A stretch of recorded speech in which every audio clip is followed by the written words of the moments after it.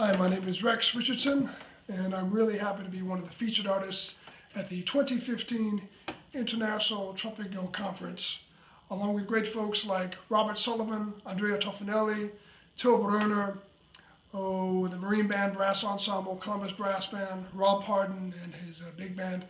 That's really just to name a few. It's going to be an amazing conference, and I know it's going to be a blast, and I hope you'll join us.